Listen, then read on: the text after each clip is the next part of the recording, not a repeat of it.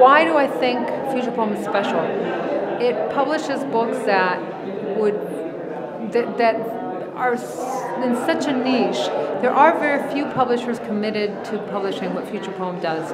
I love the fact that they have an editorial panel choosing the books every year that's so distinct, different. You never get the sense that it's a clique. We try really hard as a board to select uh, a panel of practicing artists, not necessarily poets only, who could enrich each other's perspectives on poetry in ways that we can't really anticipate initially, but it's never people who are all in the same, you know, in the same in the same group or you know, poets. Poetry can be very divided sometimes, and um, combinations and the pairings of people that we come up with, I think, are unexpected and always yield wonderful books. It's never happened that the editorial panel didn't choose two books that the press wouldn't get behind.